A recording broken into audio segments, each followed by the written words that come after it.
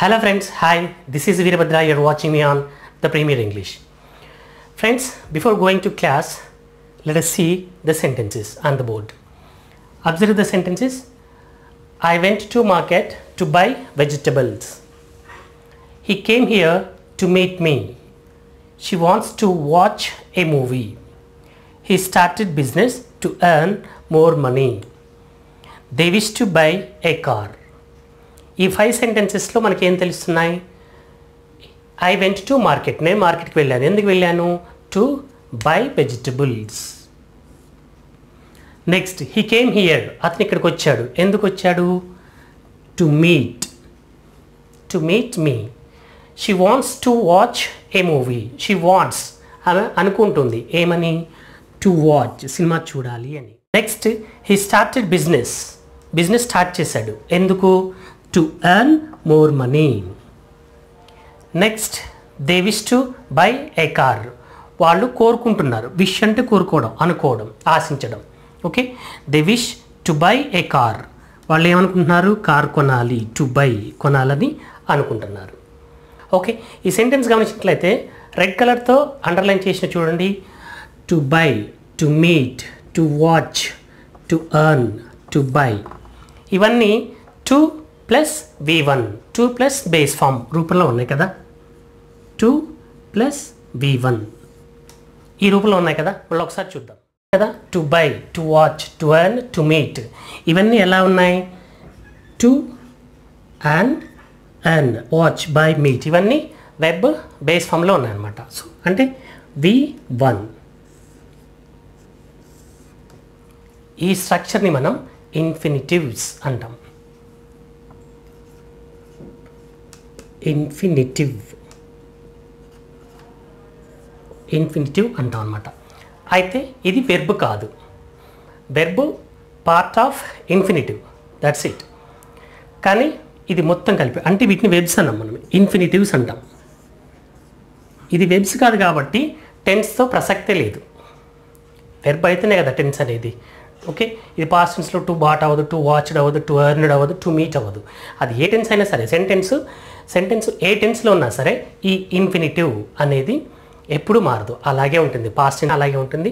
Present అయినా future అయినా అలాగే ఉంటుంది. ఈ ఎగ్జాంపుల్ చూడండి. I want to buy I wanted to buy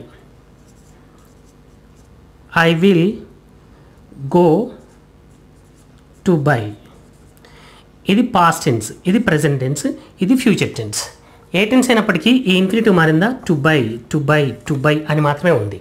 ఎందుకని? ఇది వెర్బ్ కాదు ఇది కాదు వెర్బ్ ఇది వెర్బ్ అనమాట సో ఇవి వెబ్స్ కాబట్టి టెన్స్ని బట్టి చేంజ్ అయ్యాయి. ఇది వెబ్స్ కాదు కాబట్టి మూడు టెన్స్లోనూ అలాగే ఉంది. సో దీన్నే మనం ఇన్ఫినిటివ్ అంటాం. ఇన్ఫినిటివ్ అనేది వెర్బ్ కాదు. దానికి టెన్సులతో ప్రసక్తే లేదు. ఓకే? అయితే మరి ఈ ఇన్ఫినిటివ్ని ఏ సందర్భంలో వాడతాం? ఈ ఇన్ఫినిటివ్ చాలా ప్రాముఖ్యత ఉంది ఇంగ్లీష్లో.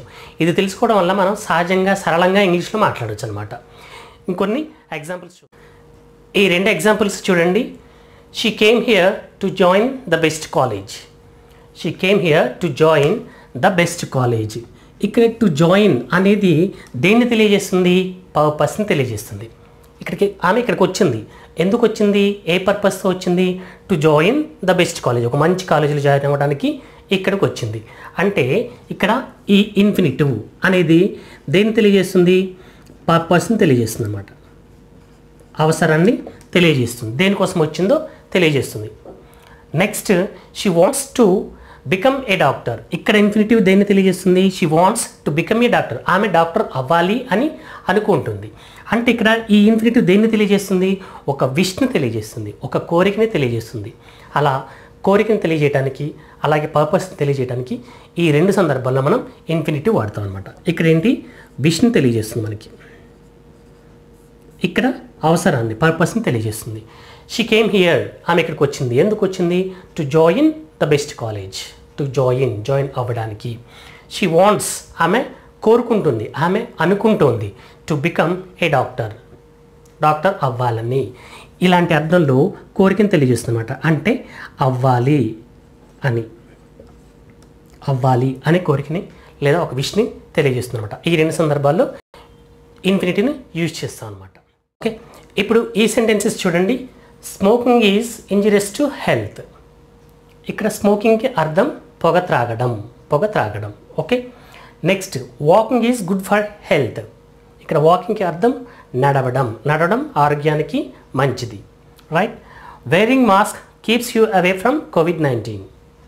Mask ధరించడం వల్ల మనం కోవిడ్ నైన్టీన్కి దూరంగా ఉండొచ్చు. ఇక్కడ ధరించడం. వేరింగ్ మీనింగ్ ధరించడం.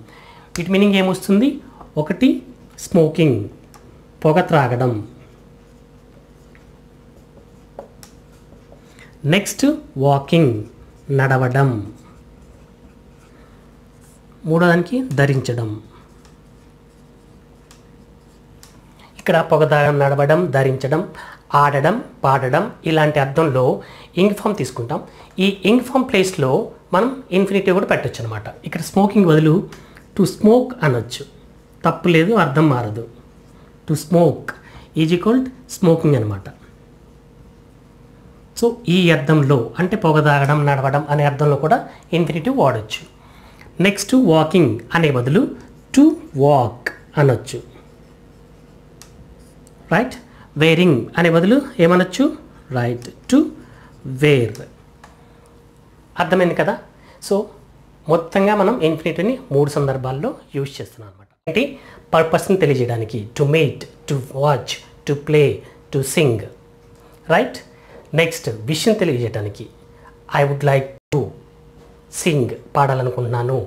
ఐ వాంట్ టు ప్లే ఆడాలి అనుకుంటున్నాను I wish to buy a building నేను ఒక బిల్డింగ్ కొనాలని అనుకుంటున్నాను. ఇలా అనుకుంటున్నాను అనే విషయాన్ని తెలియజేయడానికి ఈ టూ ఇన్ఫినిటీని వాడతాం అనమాట ఓకే నెక్స్ట్ మూడో అర్థంలో త్రాగడం పరిగెత్తడం నడవడం పాడడం ఆడడం.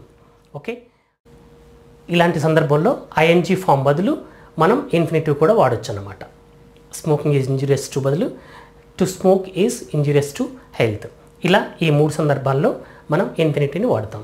ఇన్ఫినిటివ్ గుర్తుపెట్టుకోండి ఇన్ఫినిటివ్ అనేది వెర్బ్ కాదు. ఇన్ఫినిటివ్ అనేది వెర్బ్ కాదు.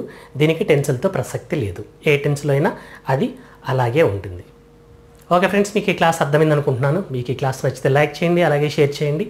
నలుగురితో సబ్స్క్రైబ్ చేయించండి. Thank you very much